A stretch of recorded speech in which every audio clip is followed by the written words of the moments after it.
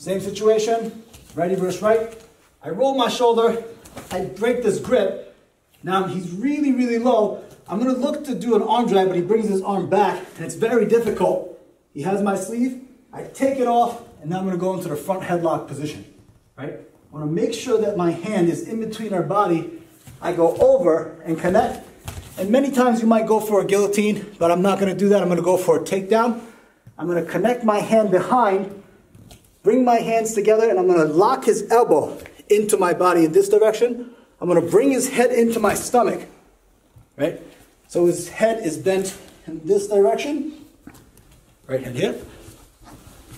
So his neck is bent in my stomach. I'm closing off all the space, and then I arch and take him back this way. And there's lots of different finishes that you can do. This one's really great because it's very hard to defend because of the position of my partner's neck. Here, uh, lapel, roll, break.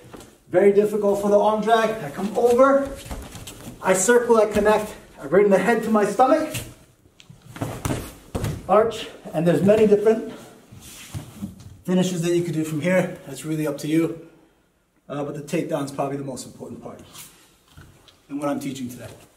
Right, really trying to connect that neck, closing this space here,